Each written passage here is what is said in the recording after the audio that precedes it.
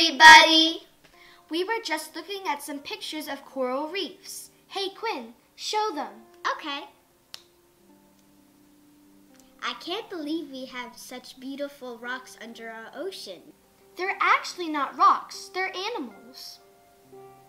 I'm not talking about fish kittens, I'm talking about coral reefs. They're actually animals. Hmm? I think we need to learn about coral reefs.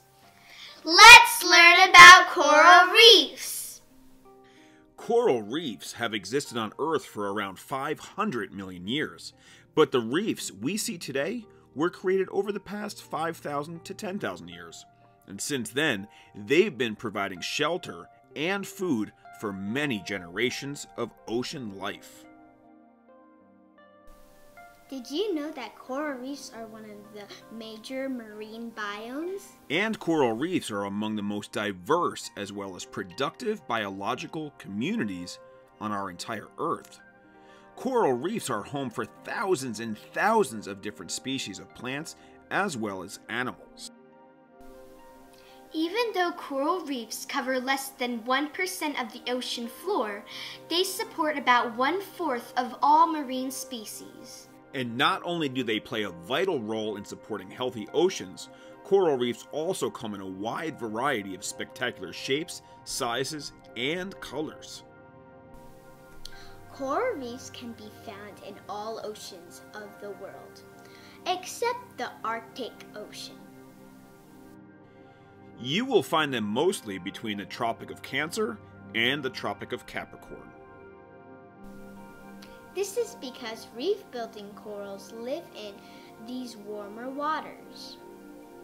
In fact, the water temperature needs to be about 20 to 28 degrees Celsius or 68 to 82 degrees Fahrenheit. This is the best temperature range for proper growth and the health of coral reefs. So, what exactly is a coral reef?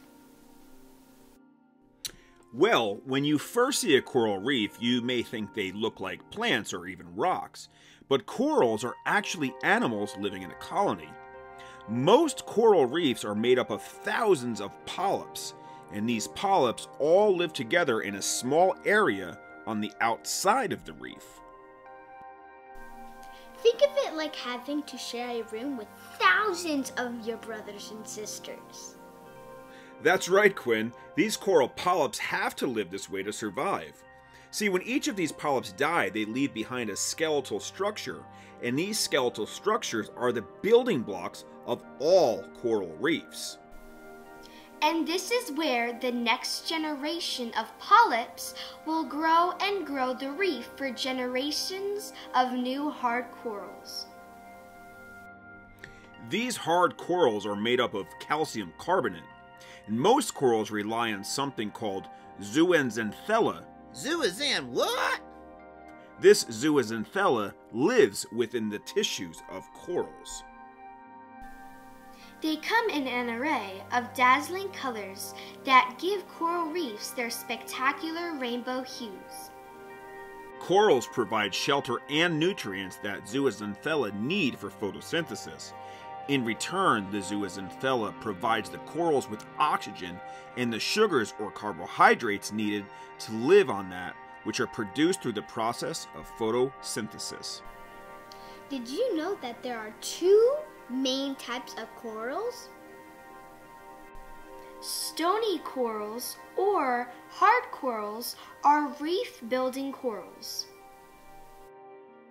The hard corals have the hard calcium carbonate skeletons that provide the structure that helps hold coral polyp colonies together, like we mentioned earlier.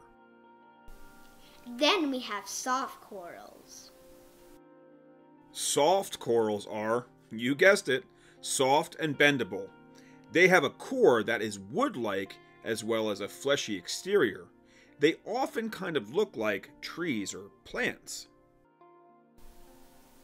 Most of the plants that live on the coral reef are various species of seagrass, seaweed, as well as algae.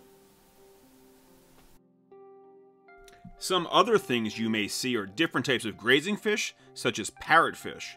You will also find sea urchins and sponges, along with other organisms. Coral grows in warm tropical waters close to the surface. They are usually found near areas that have waves. The ocean waves help to bring food, nutrients, as well as oxygen needed to support the plants and animals that live within the coral reefs. You see, coral also needs the sunlight to grow. This is why they thrive in shallow, warm water. Because of this, you will not usually find a coral reef deeper than 40 to 45 feet deep in the ocean. Coral reefs seem to prefer tropical seas, and this is most likely because the sea water is warmer as well as clearer. And even though coral reefs are well known for the presence of a lot of coral growing together, coral reefs are home to a large, diverse group of life forms other than corals. Some of these include similar looking species like sea anemones, sea fans, sponges, sea squirts, as well as fish, crustaceans, mollusks, and a lot of other species. We will learn more about coral reefs, fish, and species a little later in this video. Would you believe that corals act like a water filter? And these corals increase the water quality in the entire area of the reef. So, does the coral reef eat? Well, Quinn, since polyps do need to eat to stay alive, you can think of the coral reef as actually eating. The polyps eat small animals called plankton, as well as algae, too. Algae gets their food from the sun by using photosynthesis as well. This is yet another reason why coral reefs form close to the surface. At the surface of the water, it is clear, and this is a perfect place where the sun can feed the algae. So, where are coral reefs located? Most of the world's coral reefs can be found in Southeast Asia and near Australia. In fact, the largest coral reef in the world is the Great Barrier Reef. The Great Barrier Reef stretches over 2,600 miles. Now let's talk more about the different types of coral reefs. There are three main types of coral reefs. First, we have a fringe reef. Fringe reefs grow close to the shoreline. Fringe reefs can also be attached to the shore, or there can be a thin strip of water called a lagoon or channel between the land and the coral reef.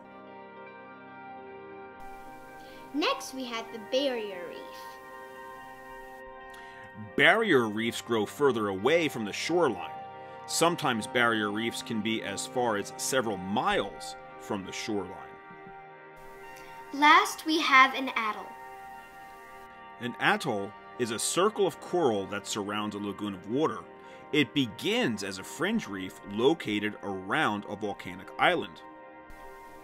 As the coral continues to age and grow, the island sinks into the ocean and just the ring of coral is left.